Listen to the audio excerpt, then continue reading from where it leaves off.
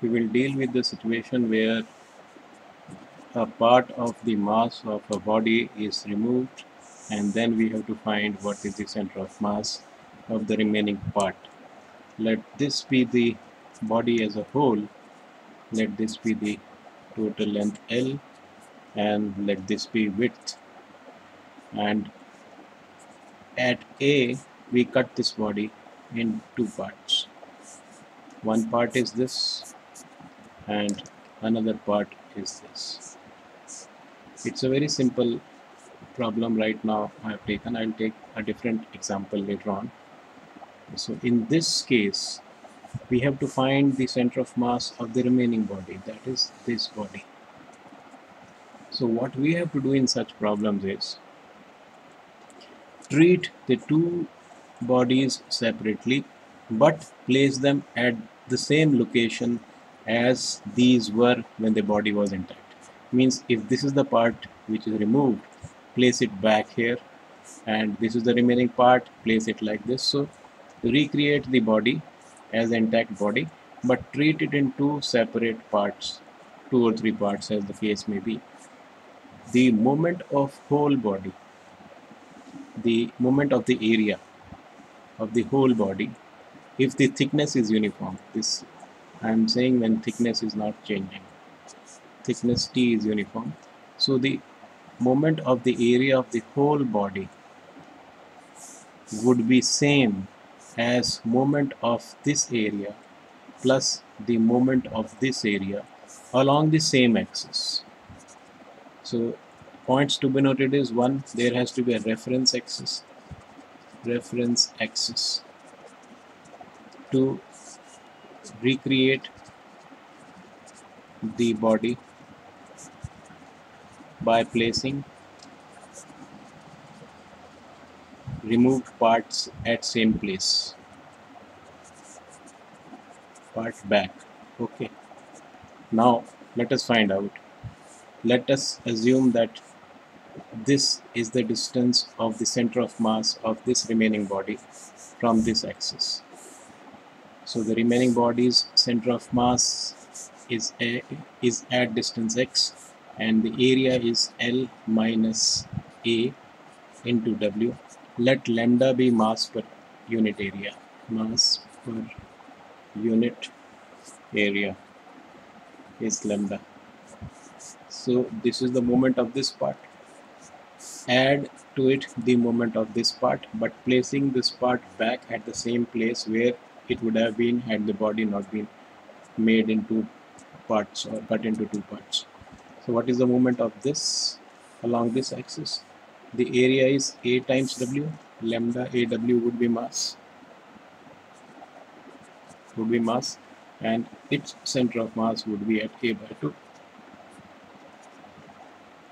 so it will be a by 2 times. So this is the moment of the entire body by taking two different parts this will be equal to moment of the entire body moment of the center of mass of the entire body along this axis. So what is the area of total body? Is LW into lambda. What is the center of mass of the intact body? Center of mass of the intact body is at this place which was L upon 2 into L upon 2. Now solve this equation. Lambda W lambda W will get cancelled in all.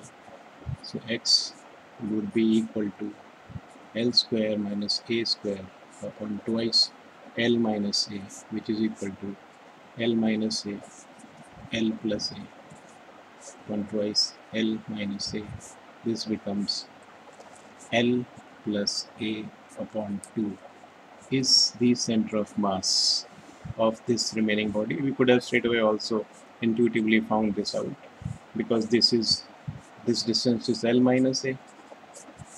The center of this body would have been L minus A upon 2 and what is the distance of this center from this axis would be L minus A upon 2 plus A upon 2 which would be same as L plus A upon 2 as we would have as we have arrived at using the proper method. Now let us take another case where there is a disk. A disk with radius r. And you remove some part like this with small radius r. This part is removed. And you have the remaining part like this. Now I want to know the center of mass of the remaining part do it by the same method. Treat these two parts separately but place them at the same place as they were when the body was intact. Let the center of mass of this body remaining body be x. And the center of mass of this body will be how much? This is r. This is small r so this will be r minus r now take the moment of the remaining body and the removed body. The moment of the area of the remaining body and the removed body. Placing the removed body at the same place. Add it and equate it to the total moment of the body and which is intact. So the moment would be uh, pi r square is the area of the removed disk lambda is uh, mass per unit per unit area. The thickness we are again assuming is uniform. This is of uniform thickness. That is a condition. So and what is the distance of its center of mass? Is r minus r. This distance. So area of this part multiplied by the distance of its center of mass plus area of the remaining part is pi r square minus r square. This is the area which is remaining into lambda it will be the mass and multiplied by x means let x be the distance of the center of mass of the remaining part. So area of the center of area of the remaining part multiplied by its center of mass. Sum of these two its moment and moment of the other part would be equal to total moment which is pi r square lambda and the moment of this intact body the distance we have to take r the center of mass of the intact body is at r from this axis. This is x x axis into r.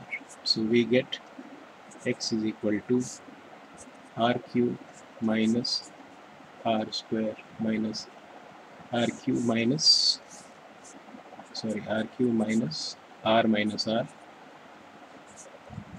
into r square upon r square minus r square would be the center of mass of the remaining body. You can solve this problem, solve it and let us test it whether this derivation is right or not. We can simply test it by putting r is equal to 0 that is small r is equal to 0 let us assume that no part was removed so the center of mass then should come at r so if r is 0 this becomes 0 it becomes r cube upon r square is equal to r.